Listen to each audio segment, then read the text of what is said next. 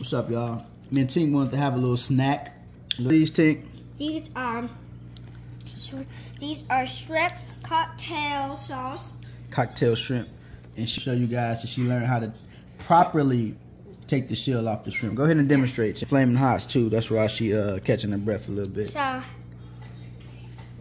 so here's you gotta say your grace first, Tink. Okay, amen. Okay, so first thing first, you see like this little pearly part right here? Mm-hmm. You squeeze the bottom of it and the top of it like this. And pull the shrimp at the same time. And pull the shrimp at the same time.